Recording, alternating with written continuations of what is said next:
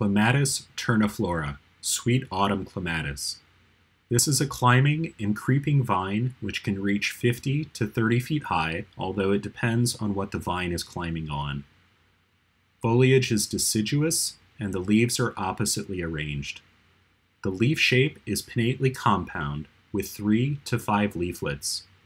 Leaves are 1 to 4 inches long, and leaflets are acute and subcordate or rounded at the base, these will sometimes appear lobed.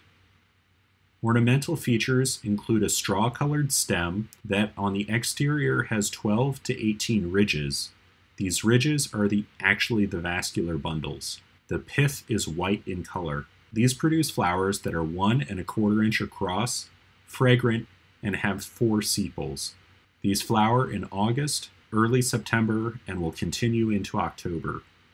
The white flowers are fragrant and formed on terminal panicles and often look as if fresh snow is covering the entire plant. Cultural information for Clematis terniflora.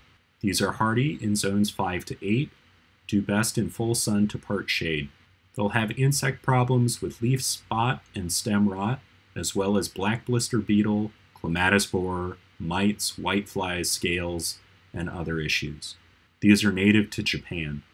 Notes about Clematis terniflora. These can be a very vigorous vine that often engulfs whatever structure or plant these grow on. These can be extremely vigorous to the point of being vicious, and can become weedy if unkempt. To control Clematis terniflora, prune it back in late winter or early spring. This will allow it to flower in the following growing season.